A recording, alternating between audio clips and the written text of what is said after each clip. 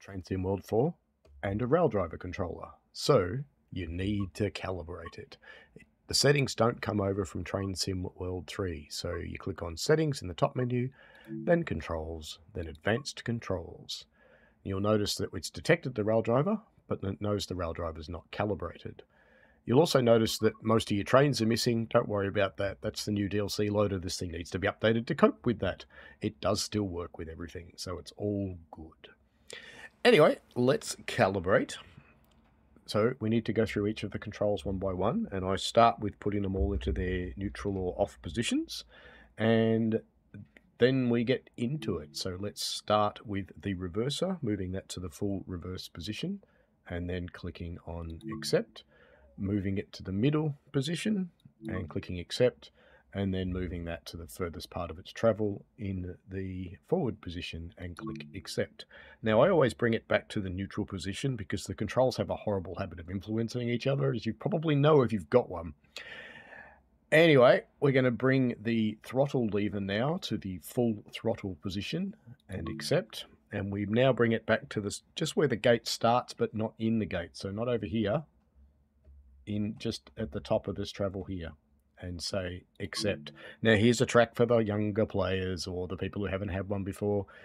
You don't go here next, you go all the way to the end of the travel. So it's right into the full dynamic brake position. And then accept, bring it back to the top of the gate, but not into the gate.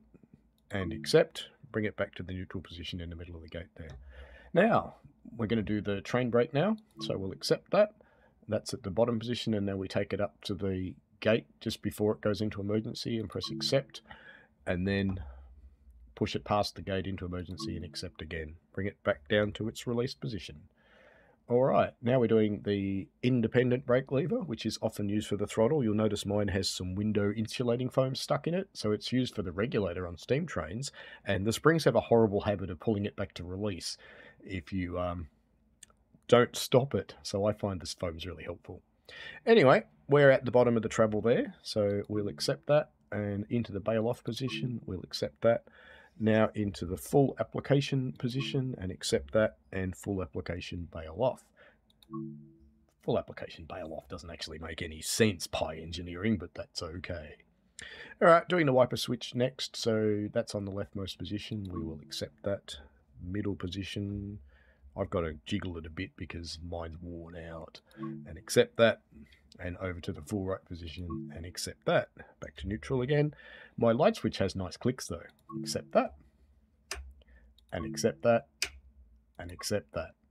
And that's it. Our Raildriver is calibrated. Now you've got to excuse my funny voice. I've got a bit of a cold. Sorry about that. I sound a cross between a emphysema victim and someone going through puberty. It's uh, quite weird. But anyway, um, there you go. Raildriver, all calibrated, ready to go with all of the content that you want to play it with. And like I said, don't worry too much about the limited list you see here. It does still work with everything. Alrighty, see you later. If you've got any questions, should ask for that. If you've got any questions, chuck them in the comments below. And if you find this helpful, subscribe to the channel. See ya.